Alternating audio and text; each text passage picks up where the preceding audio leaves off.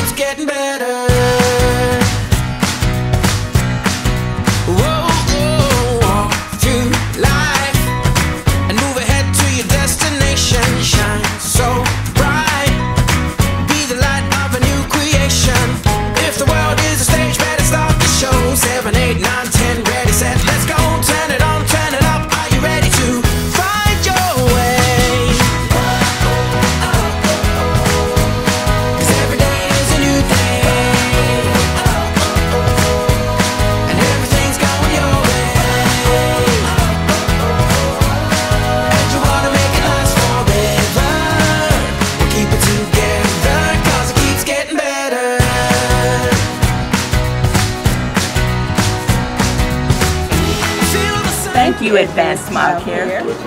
Giving, community, uh, working together towards the common good to help other people.